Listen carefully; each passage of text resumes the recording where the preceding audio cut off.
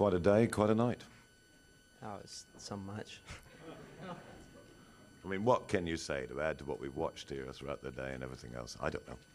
Well, I, I mean, it's probably the best match I've been involved in and, and ever will be involved in. It was, it was fantastic.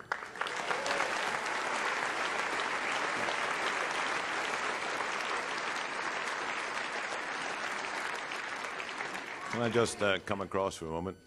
Jimmy, um, what can I say apart from happy birthday? He's beginning to annoy me. no, I had.